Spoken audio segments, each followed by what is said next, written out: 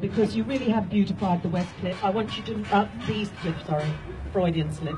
the East Cliff. And we'll do the West Cliff as well when we do the Project Motor House development. But in the interim, while Thanet District Council are making up their mind about how they're going to dispose of the site, no, no, no pressure.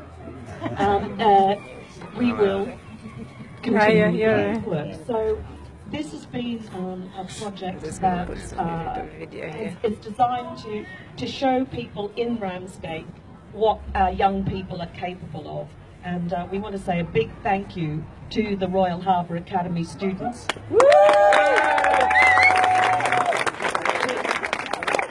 to Guy Bone, who has just been so fabulous.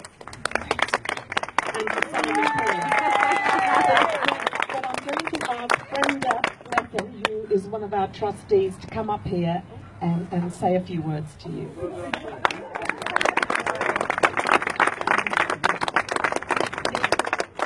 Thank you. I've come hot foot from London just for this because I think it's such an mm. exciting project to be supporting. I think the students are absolutely marvellous to be doing this.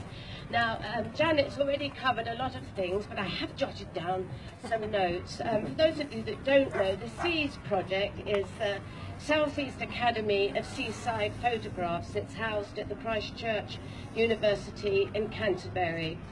And even though, uh, you've probably seen uh, the hoardings around there, some of these students have never even held a camera before this project. So I think it's incredible that they've turned this out. And to have a pop-up um, uh, exhibition at the Turner Contemporary, I mean, that takes some beating. Yeah,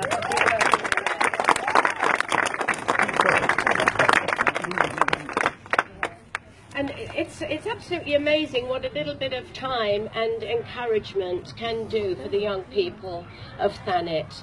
And I think we have to give a huge um, uh, thank you to the generosity of the top drawer professional creative people who gave their time freely and willingly to help towards this and it's very very much appreciated and I'm just going to read some names um, uh, Joe Mapp who